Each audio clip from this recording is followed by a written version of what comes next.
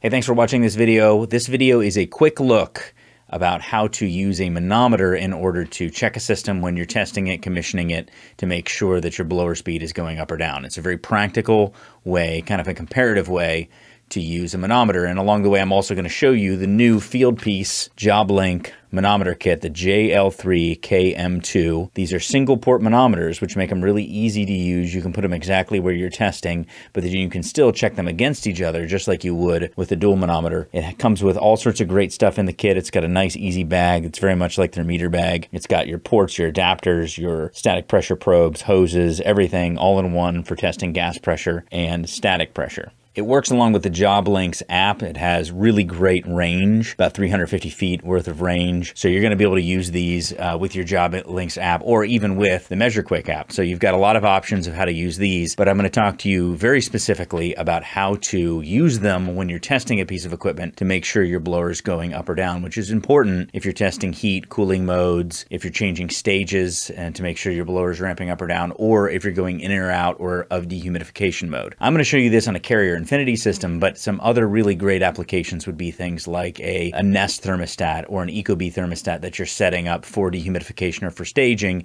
and you want to make sure that that blower is staging along with your compression.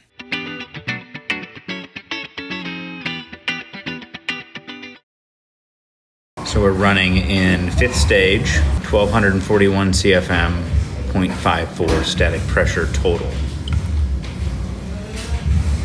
The supply would be used with blue, and then P2 would be used in the return, so that would be red. Green slow blink means normal operation, red slow blink means batteries need to be replaced. And to zero out, you just press the button and it will flash blue and then zero. This is a typical orientation for total external static pressure measurement, and this is showing how to use these adapters in order to measure with the larger boss on certain gas valves. This is the normal threaded configuration. So on a fan coil, in order to get total external static, we would measure before the evaporator coil because the coil is in the box of the air handler, and then we would measure on the supply and we'd see the differential. But in order to just see changes in airflow, we don't need to do that. We just need to look at one point, measure in the same point, get ourselves a baseline, and then see if that number goes up or down. If the number goes up, we know that our airflow is increased. If the number goes down, then we know that our airflow is decreased. So a situation like this would be a case where you have already done all of your system tests, you've already measured your total external static, but now you want to just do a quick check of your pressure drop across your air filter, and then you're just going to leave it in and do your up and down staging tests and make sure that your airflow does stage up and down. With this application, it's going to be easy. We're just going to put one above the filter and one below the filter. If you take a look here, this would normally be in the supply, so this would be the higher pressure side. This would normally be in the return, so this would be the lower pressure side, but we're really just looking for a differential.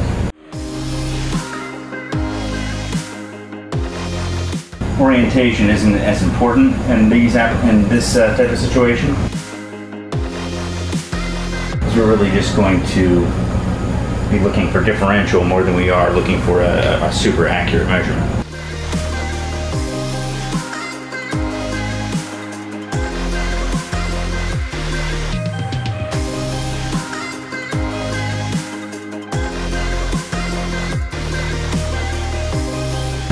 So in this particular case, again, P1, P2 doesn't really matter as much because we're just going to look at the differential. But, and again, this isn't perfectly sealed up, but let's take a look at what the JobLinks app shows.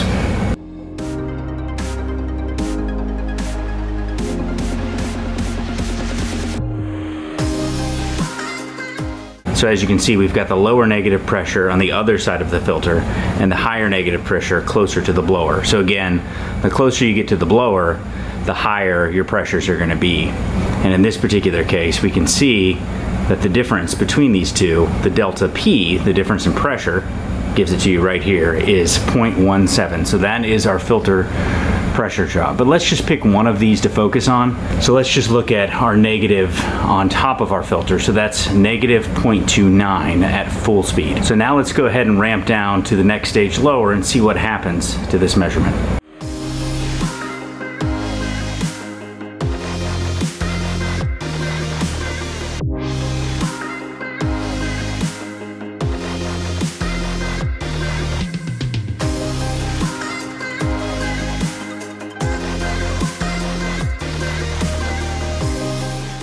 Now we're staged down to four.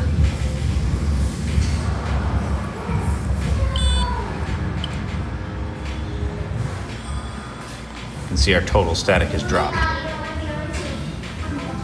So as the blower RPM goes up, so will the total external static pressure that's seen across the blower. So we can check at any point and we can see that change in static pressure once we've developed a baseline to show whether our blower RPM is going up or down. All right, so this is in stage four. You can see we had a significant decrease in both our static that are uh, that we're seeing above the filter, before the filter, and our delta P, our pressure drop across the filter, have all decreased, even with that pretty slight decrease in airflow from stage five to stage four, which just shows us we can confirm that we're staging equipment up or down. Now, on something like an Infinity, communicating system, the control does this for you. But if you were doing something with a thermostat that had some smart controls in it, but was still 24 volts, where it's staging up, staging down, going into heat mode, dehumidifying, that sort of thing, you could very easily use the Fieldpiece Job Link manometer in order to look at very fine changes. You can use one or both, but it's also valuable to see what our pressure drop is across our air filter, just to make sure that it's not too restrictive. You can see these are only slightly, slightly off and so we're gonna go ahead and zero these out really simply. Because we have a measurement on them, we can zero them out and all we do is just hit the button. It will flash blue Right, thanks for watching. As you can see, the Fieldpiece Job Link manometer is a really great tool for you to do lots of practical tests. A good quality manometer has so many important uses in the field, but specifically you can use these to easily test to make sure that your airflow is ramping up and down the way that it's supposed to. Hope you enjoyed. We'll catch you on the next one.